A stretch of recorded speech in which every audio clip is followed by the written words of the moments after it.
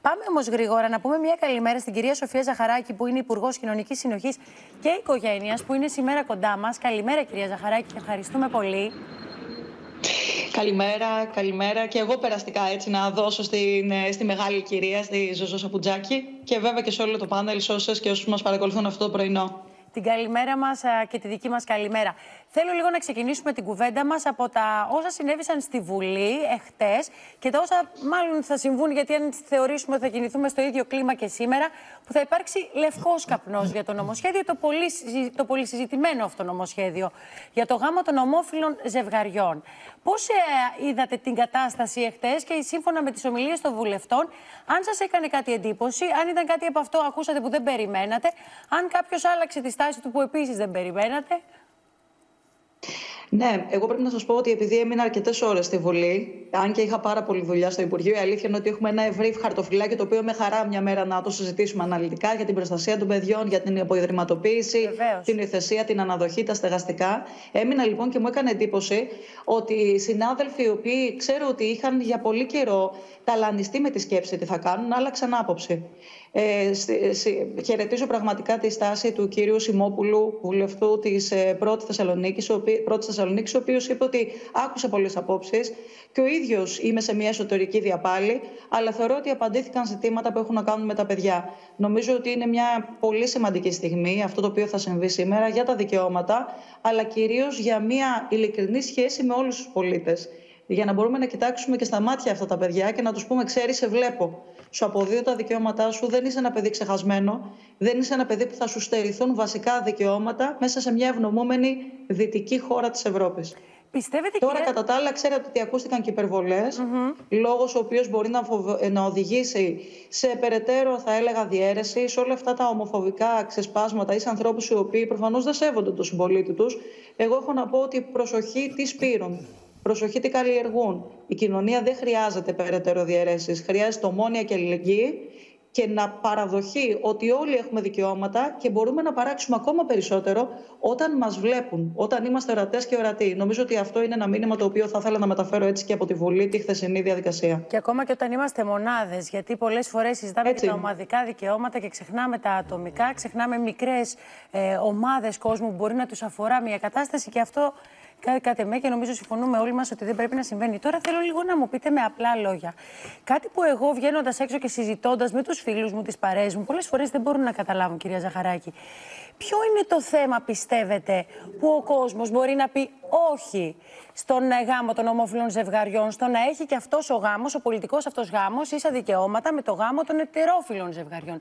Τι δεν καταλαβαίνει ο κόσμος, που πιστεύετε ότι μπορεί να υπάρχει, να μπερδεύεται το μυαλό ενός πολίτη που ακούει πρώτη φορά αυτό το νομοσχέδιο. Θα σας μεταφέρω αυτό το οποίο συζήτησα με την οικογένειά μου την ίδια. Γιατί και ο μπαμπάς μου είναι θεολόγος και γενικά έτσι η σχέση μας με την Εκκλησία είναι διαχρονική. Θέλησα λοιπόν από το καλοκαίρι να συζητήσω μαζί του και βέβαια με πάρα πολλούς ανθρώπους, γιατί και εγώ είμαι βουλευτής για πρώτη φορά σε μια πολύ μεγάλη περιφέρεια στην Ανατολική Αττική, αλλά έχω γενικά και πολύ μεγάλη κινητικότητα σε όλη την Ελλάδα. Μου λέει λοιπόν πολλοί κόσμος, καλοπροαίρετα σκεπτόμενος και σκεπτόμενοι, οι πολίτες οι οποίοι έτσι μου το θέτουν, μα λέει, Μα είναι ανάγκη δεν λύνονται τα ζητήματα με το σύμφωνο συμβίωσης. Κάποιος ο οποίος θέλει να ζήσει συντροφικά δεν επιλύει τα θέματα. Δεν τα επιλύει. Δεν μπορείς να πεις ότι μια επιτροπή πάνω σε ένα παιδί και η μη επίλυση ζητημάτων κληρονομικού δικαίου, ζητήματα καθημερινότητας πρέπει να σας πω. Ποιος θα πάει να πάρει το παιδί από το σχολείο, αν το παιδί αρρωστήσει, ποιος θα μπορέσει, αν δεν είναι νόμιμα αναγνωρισμένος και δαιμόνας, να μπορέσει να ε, ε, ρυθμίσει τα ζητήματα, αν θέλετε, μιας άμεσης μετάβασης στο νοσοκομείο. Για να μην πάω στα ζητήματα που έχουν να κάνουν με την ηθαγένεια, με ένα ζευγάρι το οποίο και το λέω και σε όποιον ίσως θα θέλει να το ακούσει αυτή τη στιγμή, που έχει μια απορία εύλογη, σας έλεγα και καλοπροαίρετη, Απογειωνόμαστε, μου έλεγαν δύο φίλοι μου, ως οικογένεια από το Βέλγιο και ερχόμαστε ως τέσσερις άγνωστοι στην Ελλάδα. Ξένοι στην Ελλάδα. Είναι τρομερό. Ε, είναι Έλληνες. Φανταστείτε ότι ένας από τους δύο είναι Έλληνας πολίτης, ο οποίος έχει παντρευτεί Ισπανός συγκεκριμένα και έχουν δύο παιδιά στο εξωτερικό. Αυτό το οποίο λέω λοιπόν είναι αποδίδουμε τα δικαιώματα σε αυτόν που έχει την εύλογη ερώ... το ερώτημα που λέτε. Αυτό το οποίο λέμε στις παρέες μας. Μα γιατί να γίνει, είναι γιατί αυτονόητο δικαίωμα το οποίο πρέπει να αποδοθεί και στα παιδιά, αλλά επίσης και στην επιθυμία ενός ζευγαριού να ε, ζήσει, αν θέλετε, αυτή την σύζευξη και αυτή την ένωση και μέσω του πολιτικού γάμου και όλα τα δικαιώματα τα οποία απορρέουν από αυτό. Επίσης η οικογένεια, ξέρετε, το οποίο είναι αυτό το οποίο κράτησε όρθια την Ελλάδα, είναι αυτό το οποίο ανα... Αυτό το οποίο Νομίζω ότι έχουμε κάποιο θέμα Έχουμε με κάποιο τεχνικό, θα το φτιάξουν αμέσως εδώ τα παιδιά μας, αλλά σας ακούμε, απλά δεν έχουμε την... Έχει κολλήσει εικόνα τώρα. Τώρα είμαστε εντάξει. Νομίζω ότι επανήλθε. Αυτό έλεγα λοιπόν ότι το κύτταρο αυτό της ελληνικής κοινωνίας, το οποίο κράτησε όρθια την Ελλάδα σε πολύ δύσκολες στιγμές, σε οικονομικές κρίσεις, στο κομμάτι της πανδημίας, σε ζητήματα τα οποία ταλανίζουν καθημερινά, και είναι η ακρίβεια και είναι η αβεβαιότητα για το μέλλον, συνεχίζουμε να την έχουμε στο πρόταγμα των, των πολιτικών μας. Και αυτό το οποίο έρχεται αυτή τη στιγμή είναι και αυτές τις οικογένειες που υπάρχουν να τις δούμε, να γίνουν ορατές, να αποδοθούν τα δικαιώματα και βέβαια να έχουν και υποχρεώσεις. Γιατί ξέρετε, αυτός ο οποίος σήμερα θα νομοθετηθούν τα δικαιώματά του, νομοθετούνται και υποχρεώσεις του απέναντι στα παιδιά. Είναι λοιπόν μια μεγάλη γκάμα συζήτησης που ανοίγει δικαιωμάτων αλλά και πολύ ισχυρών υποχρεώσεων προς τα παιδιά. Ακούγοντας εχθές ε, ομιλίες πολλών βουλευτών, οι οποίοι καταψήφισαν ή αποφάσισαν να απέχουν τελικά από την ψήφιση αυτού του νομοσχεδίου, διαπίστωσα ότι περισσότεροι μίλησαν για ένα μοντέλο παραδοσιακής οικογένειας. Δηλαδή, ήταν το, το πάτημά τους αυτό, η αφορμή για να μην συγγνώμη, για να αποφασίσουν πώς θα κινηθούν στην ψήφο τους. Και μου έκανε εντύπωση, δηλαδή, σαν απλός πολίτης, μου φάνηκε λίγο παγιακό, κυρία Ζαχαράκη. Αυτό το, το μοντέλο της οικογένειας που θεωρούμε ότι στην Ελλάδα είναι μόνο η μητέρα, ο πατέρας και το παιδί, οι οποίοι συνθέτουν την οικογένεια αυτή. Δεν αισθάνεστε το ίδιο, δεν αισθάνεστε ότι μπαίνουμε λίγο πίσω από μια κοινωνία που τρέχει και απαιτεί με τις ανάγκες της να εξυγχρονιστούμε κι εμείς; Εγώ θα σας έλεγα ότι δεν ε, δείχνω το δάχτυλο σε κανέναν. Ε, ο καθένας βλέπει ακριβώς σύμφωνα με το αξιακό, γιατί γι' αυτό και υπάρχει ψήφος κατά συνείδηση. Είναι ένα αξιακό θέμα το οποίο επηρεάζει την καρδιά, αν θέλετε, και των αξιών αλλά και των ε, ιδεών που μπορεί να προσφεύγει κάποιος ή κάποια. Αυτό το οποίο λέει είναι ότι η οικογένεια εξελίσσεται. Παλιότερα, αν θυμάστε, και σε πολύ δύσκολες οικονομικές συνθήκες για τη χώρα μας, υπήρχαν πολυμελείς οικογένειες. Θυμάστε, οι παππούδε μας μπορεί να είχαμε 6 και 7 έτσι θείου ε, και θείες. Ήταν πολυμελείς οικογένειες με τα χρόνια, η οικονομική κρίση, αλλά νομίζω και ένα θέμα τρόπου ζωής έχει οδηγήσει σε πιο λιγομελείς οικογένειες, πυρηνική οικογένεια ή και μονογονεϊκές οικογένειες. Άρα, είμαστε σε μια δυναμική κατάσταση, εξελισσόμαστε, χωρίς αυτό να σημαίνει ότι θα πρέπει και τις υπάρχουσες οικογένειες αυτή τη στιγμή να μην τους επισημάνουμε ότι υπάρχουν σοβαρά ζητήματα τα οποία πρέπει να επιλύουν ως προς τη φροντίδα των παιδιών, Ω προς το κομμάτι τα παιδιά αυτή τη στιγμή είναι σε ένα έντονο ε, ατομικό περιβάλλον και πρέπει να τα, να τα περιβάλλουμε με αγάπη. Βλέπετε τι γίνεται με τη βία ανηλίκων, βλέπετε τι γίνεται με τα ζητήματα παιδιά έχουν θέματα ψυχικής υγείας. Άρα και στις υπάρχουσες οικογένειες, με το δυναμικό τρόπο τον οποίο εξελίσσεται η ελληνική οικογένεια και η ελληνική κοινωνία, υπάρχουν προτάγματα που πρέπει να συζητήσουμε όταν τελειώσει αυτό το νομοσχέδιο. Και αυτό έχει να κάνει με την παραδοσιακή οικογένεια ή μια οικογένεια η οποία εξελίσσεται, αν θέλετε, στον χρόνο. Η Ελλάδα πρέπει να τα αντιμετωπίσει σε αυτά τα ζητήματα και νομίζω ότι είναι, αν θέλετε, και επίγουσας έτσι φύσεως.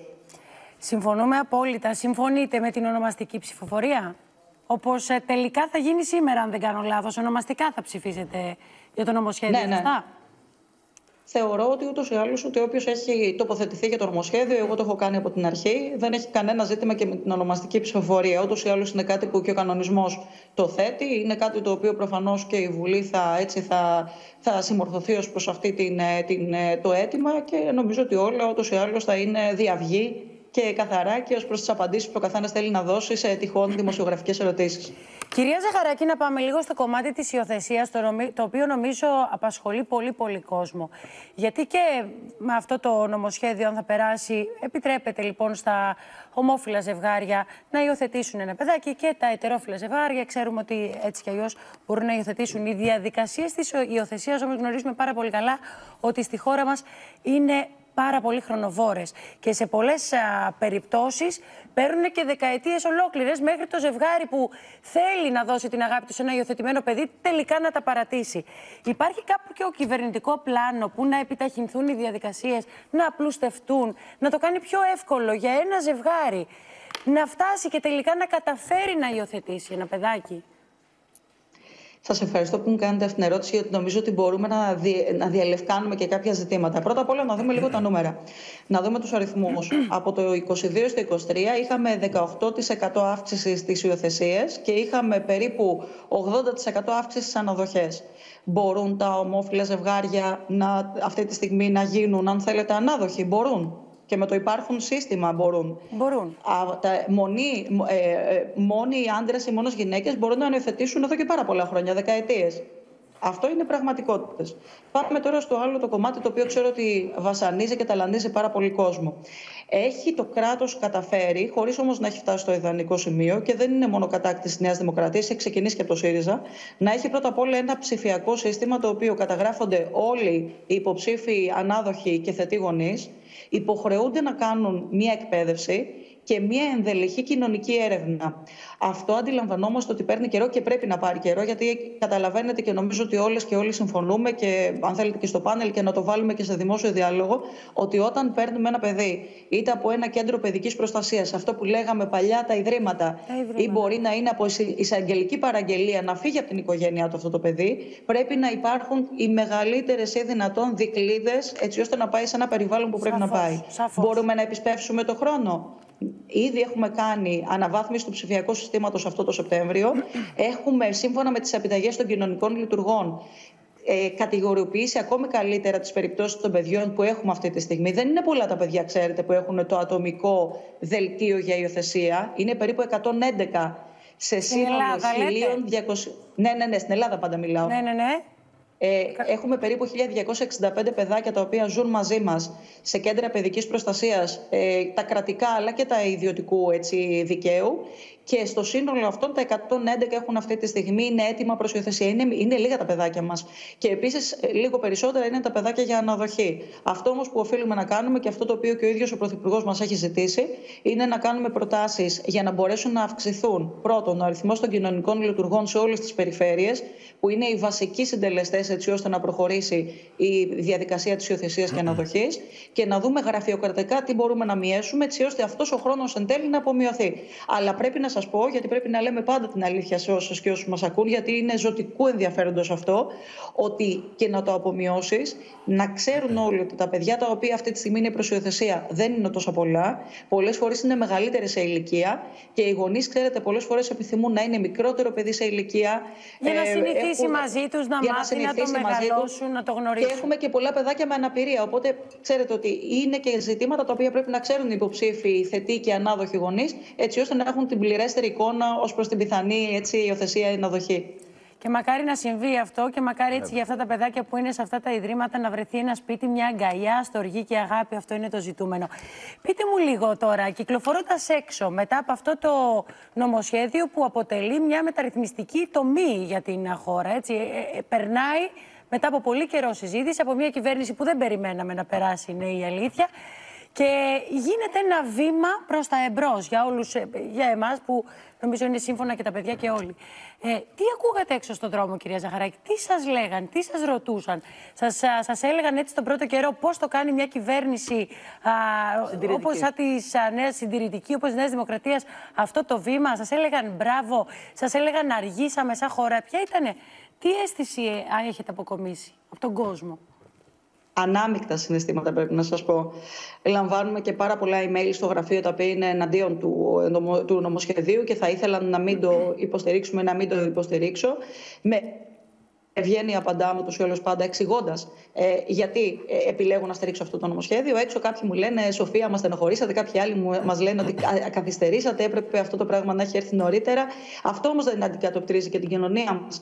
Και ο ρόλος του πολιτικού, αν θέλετε, δεν είναι και παιδευτικός. Έτσι ώστε ανοίγοντας δρόμο, σύμφωνα με κάτι που πιστεύεις και έχεις πραγματικά τη συνείδησή σου ήσυχη ότι κάνεις το σωστό, εξηγείς, πάντα με έναν τρόπο, εγώ τουλάχιστον αυτός είναι ο τρόπος, εκπαιδευτικός είμαι, πάντα έτσι, έτσι μπορώ να μιλώ, ε, εξηγώντας στις πλευρές όλες αυτές γιατί κάτι μπορεί να έγινε αυτή τη στιγμή ή γιατί μπορεί να μην έφτασε και στο κομμάτι έτσι, που κάποιος μπορεί να φανταζόταν για την παρένθετη μητρότητα. Αλλά πάντα νομίζω ότι με το διάλογο, με την τεκμηρίωση και με ψύχρεμο λόγο μπορούμε εν τέλει να πορευόμαστε και φέρνουμε και περισσότερο κόσμο σε αυτό το οποίο εμείς νομίζουμε ότι είναι μια φιλελεύθερη κεντροδεξιά ούτως ή άλλως παράταξη που μπορεί κάποιοι να λένε ότι είναι συντηρητική. Συντήρηση σημαίνει, αν θέλετε, και ότι μένω σε μια λογική ότι φέρνω περισσότερο κόσμο κοντά, ενώ συγχρόνως κάνω μεταρρυθμίσεις. Μεταρρυθμίσεις στην οικονομία, μεταρρυθμίσεις για δημιουργία νέων θέσεων εργασίας, μεταρρυθμίσεις έτσι ώστε κάθε γυναίκα, γιατί εμείς είμαστε και ένα Υπουργείο το οποίο ούτως ή άλλως πρεσβεύουμε το θέμα της ισότητας και της ενδυνάμωσης στην εργασία, αλλά συγχρόνως και αν επιθυμεί και στην οικογένεια.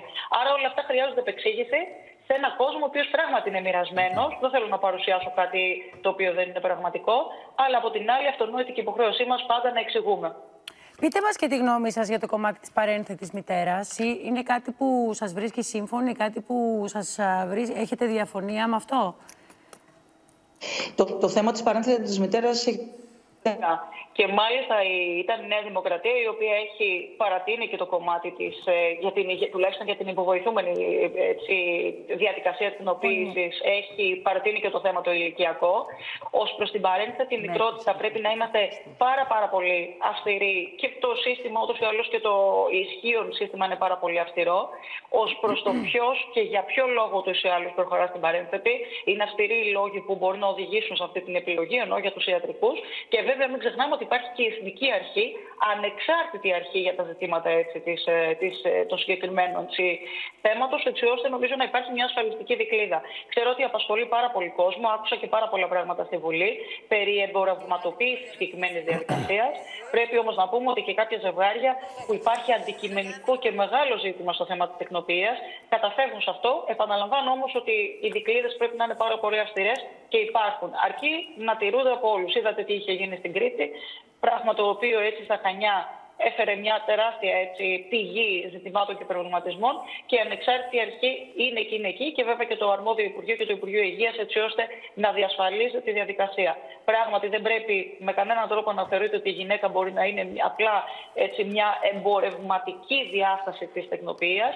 Μόνο με τους ιατρικούς όρους και μόνο με την απόλυτη θα έλεγα νομική κάλυψη μπορεί μόνο ο νόμος να δώσει. Ε, θέλω να πάμε και λίγο στους, ε, στους αντιφρονούντες της Νέας Δημοκρατίας, στους ανθρώπους που τελικά θα καταψηφίσουν αυτό το νομοσχέδιο. Οι αριθμοί ή δεν θα παρευρεθούν καθόλου, θα απέχουν.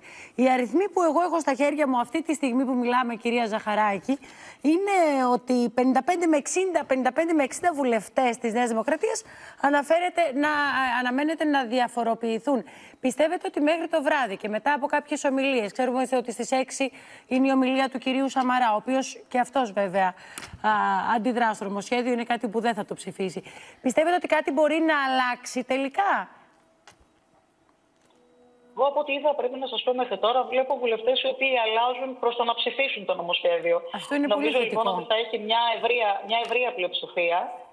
Και επίσης πρέπει να σα πω και κάτι το οποίο πιστεύω και δεν είναι απλά μια ανταλλαγή αγροτήτων, ούτε μια διάθεση απλά να εξοραίσω την κατάσταση και με τους βουλευτές, τι τους βουλευτές, κυρίως είναι άντρες, οι οποίοι δεν θα ψηφίσουν, θα απέχουν. Και πάλι την επόμενη μέρα μαζί θα είμαστε στη διεκδίκηση ζητημάτων καθημερινότητας. μαζί θα είμαστε στη διεκδίκηση αύξησης των σχολικών γευμάτων σε όλη την Ελλάδα, όπως κάνουμε και καλό είναι που συζητήσουμε μια μέρα και στην εκπομπή. Βεβαίως. Μαζί θα είμαστε στην ενίσχυση των ζητημάτων υιοθεσίας αναδοχής. Μαζί θα είμαστε στην ενίσχυση θεμάτων της νεολαίας ίσως να μπορέσει ένα νέο παιδί να διεκδικήσει το μέλλον του στην Ελλάδα και με την ίδρυση των ιδιωτικών πανεπιστημίων. Ναι, είναι μια στιγμή η οποία ο καθένας έρχεται και τοποθετείται σύμφωνα με ζήτημα συνείδησης. Όμως από την επόμενη μέρα πάλι εκεί θα είμαστε να τιμήσουμε και την ψήφο των πολιτών, οι οποίοι πολύ πρόσφατα ούτω ή άλλω μας τίμησαν με την ψήφο τους. Το πιστεύω ακράδαντα και το καταθέτω και στην εκπομπή σας. Θα σας ρωτούσα για το πολιτικό κόστος που μπορεί να έχει η απόφασή σας να είστε υπέρ του νομοσχεδίου έτσι από την αρχή, αλλά συνομιλώντας μαζί σας, καταλαβαίνω ότι δεν είχατε ούτε ένα παραθυράκι αμφισβήτησης μέσα στο μυαλό σας για το ποιο, να, ποια μεριά έπρεπε να ακολουθήσετε. Δεν ξέρω, μα κάνω λάθος, είναι η αίσθησή μου. Δεν είχα, αυτό είναι αλήθεια.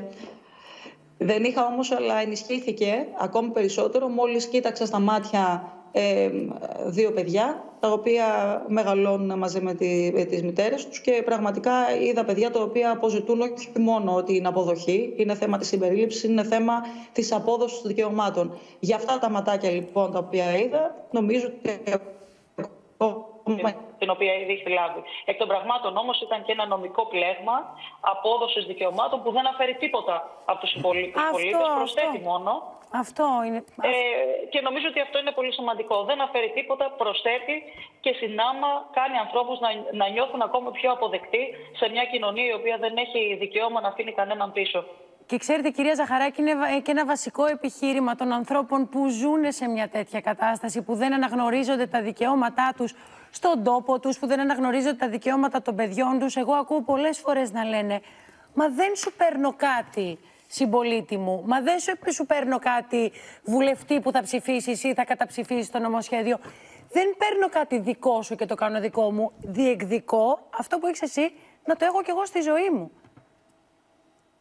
Ακριβώς αυτή είναι η προσέγγιση και συνάμα εγώ πάντα, ξέρετε, στις, στις ακραίες δηλώσεις και από τη μία και την άλλη πλευρά πάντα παίρνω έτσι ένα, μια μέση οδό. Αυτό το κομμάτι της διεκδίκησης, αυτό το κομμάτι της πρόσθεσης και όχι της αφαίρεσης είναι το κυρίαρχο. Και βέβαια επαναλαμβάνω ότι μιλάμε για μια χώρα η οποία ανέκαθεν έκανε επιλογές οι οποίες ήταν προς τη Δύση. Και βέβαια και ο ιδρυτής της Νέας Δημοκρατίας, ο Κωνσταντίνος Καραμαλής, ακριβώς αυτές τις επιλογές έκανε. Άρα νομίζω ότι είμαστε συνεπείς και έχουμε μια συνέχεια ως προς τις επιλογές μας. Ε, επιλογές οι οποίες κοιτούν προς τη, προς τη Δύση, επιλογές οι οποίες δεν αφήνουν κανένα πολίτη πίσω και συνάμα είναι ευρείες και ευρείες πάντοτες έχοντας να κάνουν και με το δικαίωμα του ενός. Εδώ είμαστε να κοιτάμε και τον έναν γιατί οι άλλοι έχουμε διασφαλισμένα τα δικαιώματά μας. Για μας, αν θέλουμε να παντρευτούμε, αν θέλουμε να κάνουμε παιδιά, ή τα δικαιώματα τα οποία θα έχουν τα παιδιά μας αμέσως μετά στα ζητήματα ανατροφής, κληρονομικού δικαίου, οτιδήποτε άλλο, είναι εξασφαλισμένα. Αυτός που δεν τα έχει εξασφαλισμένα, θέλουμε να μπούμε στη θέση του ή να μπούμε στη θέση αυτού του παιδιού. Αυτό νομίζω ότι πρέπει να κάνουμε. Έτσι, μια υπόθεση εργασίας στο μυαλό μας και ίσως να είναι λίγο πιο εύκολες οι απαντήσεις. Κλείνοντας έτσι, θέλω να μας πείτε αν πιστεύετε ότι η ψήφιση αυτού του νομοσχεδίου θα φέρει, θα είναι η αρχή για να δούμε έτσι κομβικά νομοσχέδια στη Βουλή, νομοσχέδια που θα είναι βήματα εξέλιξης και προόδου για τους ανθρώπους και την καθημερινότητά μας κυρίως. Νομίζω ότι το αμέσως επόμενο νομοσχέδιο, το οποίο όπως σας είπα θα συνταχθούμε με πολλούς ανθρώπους που ίσως σήμερα να έχουν διαφορετική άποψη, είναι αυτό για τα ιδιωτικά πανεπιστήμια. Ξέρετε, πήγα σε δημόσιο πανεπιστήμιο, νομίζω και εσείς, στο πανεπιστήμιο έτσι, το, εδώ στην Ελλάδα. Ζήσαμε στιγμές ε, που ίσως δεν τιμούσαν και πάρα πολύ την προσπάθεια που είχαμε κάνει εμείς και οι οικογένειές μας, χρόνια ολόκληρα να διαβάσουμε για να μπούμε σε ένα ελληνικό πανεπιστήμιο και να σπουδάσουμε. Στην ΆΜΑ ποτέ δεν σταθήκαμε. Εγώ τουλάχιστον είμαι στη Δάπνο Δοφοκού και στην Ονέδα από μικρή, ποτέ δεν σταθήκαμε απέναντι στο δικαίωμα ενός άλλου παιδιού να πάει σε μια ιδιωτική σχολή, αν το επιθυμεί, και κυρίως να μην χρειαστεί να φύγει για την Ελλάδα. Νομίζω λοιπόν ότι αυτές οι επιλογές οι οποίες θα έρθουν στο, στο, στη Βουλή, με όλη αυτή τη συζήτηση που θα ξεκινήσει, είναι επιλογές μεταρρύθμισης και βημάτων προς τα μπρος. Όπως επίσης πρέπει να σας ενημέρωσω ότι και εμείς κάνουμε μια προσπάθεια στο Υπουργείο Κοινωνικής Συνοχής και Οικογένειας, μια ευρεία διαβούλευση για το δημογραφικό, γιατί όλα αυτά που συζητήσαμε σήμερα συνδέονται άμεσα και με το πληθυσμό. Πόσοι είμαστε, πόσοι θα είμαστε. Και, την υπογεννητικότητα που. Και την... Όλα. Τεράστιο όλα πρόβλημα. Γιατί κάνουμε μεγαλύτερες ε, παιδιά, ηλικία, ε, σε μεγαλύτερη ηλικία παιδιά, εκ των πραγμάτων η, η Ελλάδα μας γυράθηκε. Έχουμε λοιπόν ζητήματα που έχουμε να συζητήσουμε, την επιστροφή των παιδιών μας που έφταναν στο εξωτερικό και όλα αυτά είναι ρηξικέλευτα και μεταρρυθμιστικά. Αυτά λοιπόν θέλουμε να συζητήσουμε το επόμενο χρονικό διάστημα. Και κυρία Ζαχαράκη, πείτε μου και κάτι τελευταίο. Ξέρω ότι είστε ένας άνθρωπος που έχετε βαθιά σχέση με την ε, Ορθόδοξη πίστη, με τη θρησκεία. Πώς σας φάνηκε η στάση της Εκκλησίας απέναντι σε αυτό το νομοσχέδιο, Γιατί ακούσαμε και αιρετικές απόψεις ανθρώπων που ε, νομίζω πως. Ε, εγώ τέλος πάντων είναι η άποψή μου ότι έδιωξαν τον κόσμο από την, ε, από την ε, θρησκεία και αυτό που πρεσβεύει η αγάπη του Θεού. Πώς σας φάνηκαν αυτές οι απόψεις και πώς τα παρακολουθήσατε; Νομίζω και το πιστεύω όχι μόνο λόγω της σχέσης που έχω με την Εκκλησία διαχρονικά, γιατί αυτή είναι προσωπική, δεν τη διαφημίζω, είναι κάτι το οποίο για μένα έτσι έχει σημασία. Ε, ότι αν κοιτάξετε τα κείμενα αυτή τη στιγμή της ιεραρχίας, θα δείτε ότι υπήρξε μια ισορροπία. Δεν κάλεσαν κόσμο ως προς τα συλλητήρια. Αυτές οι αποφάσεις οι οποίες ελήφθησαν, ελήφθησαν και είναι μεμονωμένες. Θα δείτε επίσης, και σας καλώ να πάμε και μια μέρα μαζί στη Δυτική Θεσσαλονίκη, να δείτε τις χιλιάδες μερίδες οι οποίες ο Μητροπολίτης και οι ιερείς εκεί και όλοι στην Ελλάδα, ή θα δείτε τους ανθρώπους οι οποίοι διαμένουν σε ξενώνες, ή θα δείτε όλα αυτά τα παιδιά τα οποία μπορεί να σπουδάζουν με υποτροφίες. Άρα, άλλο το ζήτημα και σε αυτό μπορεί να τοποθετηθεί μόνο η Εκκλησία και όχι εγώ, ως προς τα ζητήματα τα οποία έχουν να κάνουν με το πώς ε, αποτιμούν το συγκεκριμένο νομοσχέδιο. Και άλλο ένα μεγάλο κομμάτι το οποίο δεν μπορεί αυτή τη στιγμή να μηδενιστεί και αυτό είναι το μεγάλο φιλανθρωπικό έργο αλλά και η μεγάλη πνευματική καθοδήγηση της Εκκλησίας, η οποία κανείς δεν μπορεί να τη διαγράψει. Άρα, ούτε και κάποιος με ακραίο λόγο μπορεί να διαγράψει όλη αυτή τη ζεστή σχέση αγάπης, την οποία μπορεί να δώσει, αν θέλετε, την πνευματικότητα και την πνευματική καθοδήγηση που κάποιος, αν επιλέξει, μπορεί να πάρει από την Εκκλησία. Άρα, ναι, κάποιες φωνές αυτή τη στιγμή είναι ακραίες, αλλά βλέπετε ότι δεν νομίζω ότι επικράτησε αυτό το οποίο ούτως ή άλλως θα απέτρεπε από το να υπερψηφιστεί τελικά αυτό το νομοσχέδιο. Μακάρι. Μακάρι να ισχύει αυτό και στην, ε, και στην καθημερινότητα. Γιατί πολλές φορές με αυτά που ακούμε και εμείς εδώ, η αλήθεια είναι ότι μας δημιουργούν πολλές αμφιβολίες. Γιατί αυτό πιστεύουμε και θέλουμε να πιστεύουμε ότι ισχύει. Και καμιά φορά ακούμε κάτι και νομίζω ότι και ο κόσμος, επειδή η ανάγκη του για την πίστη και η σχέση του με την αθρησκεία μας είναι βαθιά και είναι έντονη, νομίζω ότι πολλές φορές ο κόσμος μπερδεύεται από τα λόγια που ακούγονται. Αλλά σε καμία περίπτωση δεν αναιρούμε. Δεν πιστεύω ότι όλα θα, θα αποδειχθούν στον χρόνο. Γιατί παλιότερα και με το θέμα του πολιτικού γάμου, αν θυμάστε, υπήρχαν συγκεκριμένες αντιδράσεις, υπήρχαν ζητήματα ω προς το αν θα βαφτιστούν τα παιδιά ή όχι και είδατε ότι όλα αυτά τα έλυσε ο καιρός και τα έλυσε ο χρόνος. Προχωράμε, εξελισσόμαστε και νομίζω ότι και η Εκκλησία είναι ένας δυναμικός οργανισμός, οπότε θα αποφασίσει πώς θα χειριστεί σε αυτά τα ζητήματα. Ε, από την άλλη, εγώ κρατώ όλο αυτό το οποίο σας είπα πριν, το οποίο το πιστεύω για καράτα, δηλαδή δεν το λέω απλά έτσι για μια λογική δημοσίων σχέσεων. Άρα, ας δούμε λίγο χρόνος πώς θα μας διαμορφώσει όλους και τους πολιτικούς που σήμερα συμφωνούν διαμορφώσει ή διαφωνούν ή και τον κόσμο που μπορεί να έχει εύλογες ανησυχίες αυτή τη στιγμή. Κυρία Ζαχαράκη, να σας ευχαριστήσουμε πάρα πολύ. Και κλείνοντας, έτσι να πω μια προσωπική μου θέση. Είναι η πρώτη φορά που παρακολουθώντας λίγο την εξέλιξη μιας κουβέντας στη Βουλή, χάρηκα γιατί είδα ένα διάλογο να γίνεται στο πλαίσιο του σεβασμού στην ανθρώπινη ψυχή και στο, στο αναφέρει το δικαίωμα της ανθρώπινης ελευθερίας, εκτός από μερικές ακραίες φωνές που δεν είναι τις παρούσες να το κουβεντιάσουμε. Και όντως παρατηρήσαμε όλοι ότι πολλοί άνθρωποι άλλαξαν τη γνώμη τους, άνοιξαν το μυαλό και την καρδιά τους σε άλλους ανθρώπους, οπότε άλλαξαν και τη στάση τους εν τέλει για το νομοσχέδιο αυτό. Και αυτό είναι ένα αισιόδοξο μήνυμα για όλους εμάς. Και εγώ έτσι πιστεύω. Νομίζω ότι ούτως ή άλλως είναι μεγαλείο το να μπορείς κάποια στιγμή να αμφισβητείς ακόμα και κάτι το οποίο θεωρείς ως δεδομένο και απόλυτο. Και έτσι νομίζω ότι επέρχεται και μέσα από τη δημοκρατία όλη αυτή η πολύ υγιής ανταλλαγή, ανταλλαγή απόψεων. Αν πηγαίνουμε όλοι με προαποφασισμένα ζητήματα, νομίζω ότι ίσως εκεί υπάρχει ένα θέμα. Αλλά από την άλλη, αν έχουμε μελετήσει, τεκμηριώσει και εν τέλει με κάποια, αν θέλετε έτσι, και, και, και επιστημονική βάση δώσουμε τα επιχειρήματά μας, νομίζω ότι πολλοί κόσμος μπορεί εν τέλει και να αλλάξει άποψη, ακόμα και αν στην αρχή είχε μία λίγο πιο έτσι απόλυτη θέση. Σας ευχαριστούμε πάρα πολύ που ήσασταν σήμερα κοντά μας. Ε, καλή συνέχεια στην ημέρα σας, γιατί καταλαβαίνω ότι το πρόγραμμα είναι ιδιαίτερα φορτωμένο σήμερα, βεβαρημένο. Θα χαρούμε πάρα πολύ, θα χαρώ να τα πούμε και από κοντά και να συζητήσουμε και άλλα πολύ σπουδαία πράγματα που περιέχει η ατζέντα σας και το, το, είναι στο το Υπουργείο Οικογένειας. Ευχαριστώ πολύ. Καλημέρα. Καλημέρα. Να είστε καλά.